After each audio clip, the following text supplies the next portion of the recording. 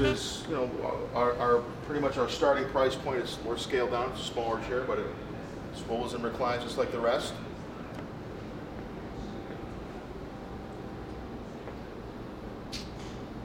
This is a metal base that's on here. The rest of these are gonna be a wood. This is all the leathers.